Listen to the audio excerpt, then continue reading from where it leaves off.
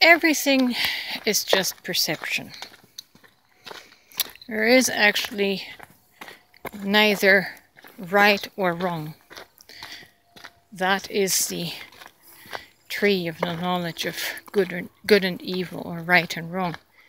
When you can understand and comprehend that everything is simply merely shifting perception, you can make life a lot easier for you.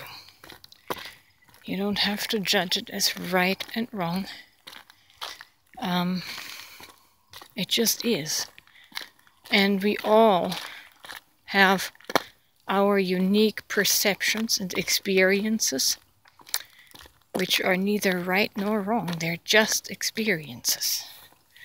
And they are shaped through the lens in our psyche. But again, it's neither right nor wrong, it's just perception. And so, if you can look at it neutrally, that perception is always changing, always evolving, and um, absolve yourself from the judgment of having done right or wrong. You're simply evolving. And in the process of evolving, you have to be permitted to make mistakes. As they say, we learn from our mistakes.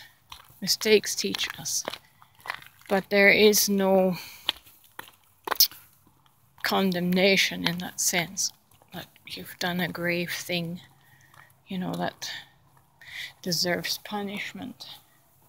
I mean, yes, we can get into all of those individual deeds, whether they're right and wrong. Um, but boy, that gets you bogged down real quick. Real quick with your nose to the ground.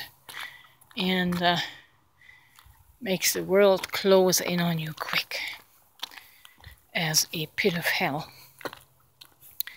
It's all a matter of perception. Yes, things happen here that are meant to happen in this dual world um, to our consternation, but we're here to learn to rise above right or wrong.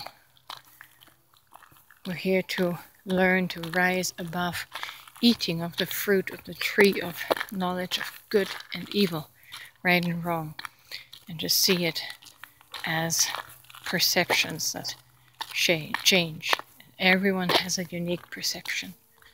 And you don't know why a certain person sees things so differently from you. Their lens, their soul, is shaping that perception. And it's not wrong.